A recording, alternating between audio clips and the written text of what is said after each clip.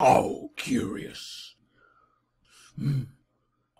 You must be the one that flies.